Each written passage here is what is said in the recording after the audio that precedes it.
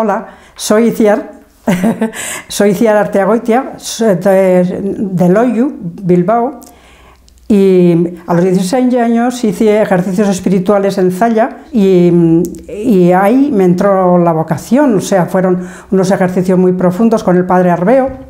Y después dije en casa que quería ser religiosa y no me dejaron hasta los 22 años, 21 que era mayor de edad. Pues mi padre me dijo que no, que tenía que salir con chicos, que me habían atontado las monjas, que tal. Hasta los 22 años no pude entrar, porque ya 21 me decía hasta Navidad, hasta no sé qué, y ya por fin entré. Y desde que he entrado no he tenido nunca jamás una duda sobre mi vocación. Nada, eh, he tenido una vida muy bonita en una manera, eh, entrega total. Estuve en Castilleja de novicia y era eh, enfermera de niñas y otras cosas también, de comedor, lo que sea.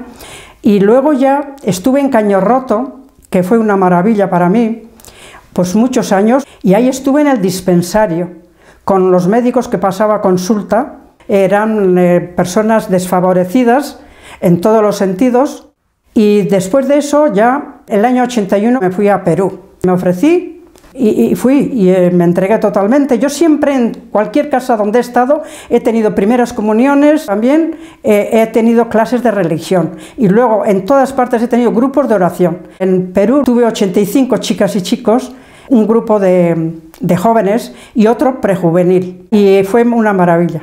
¿Cuántos años? 11 años y entonces ya lo que hice es que mm, eh, vine a la enfermería, a abrir la enfermería de Lejón. Aquí en el Soto tengo la sacristía.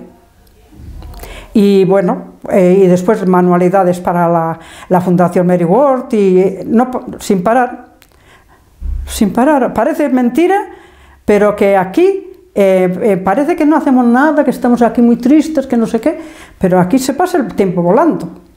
Al entrar nosotras, nosotras, no nos hablaban de Mary Ward, solo las constituciones, las reglas y todo eso, pero de Mary Ward no nos hablaban. Lo que pasa que yo, de todas las maneras, a Mary Ward, en cuanto le conocimos, le conocí, pues vi que los, los valores esos que tiene alegría, verdad, libertad y justicia, que es una maravilla, ¿no? Y entonces, pues tratamos de vivir eso.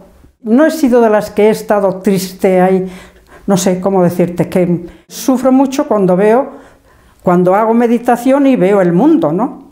Veo el mundo cómo está y voy pues eso a Sudán, empiezo a mirar por Bangladesh, eh, todo, todo, todo, todo, o sea, voy viendo, viendo, viendo y después de eso hablo con el Señor y le pido que eso, que a ver si tratamos de, de cambiar eso, ¿no?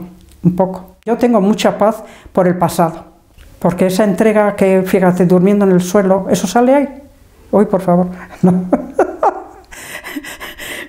Pues en el suelo, eh, para ir a los pueblos, he recorrido los pueblos de tres provincias en mula.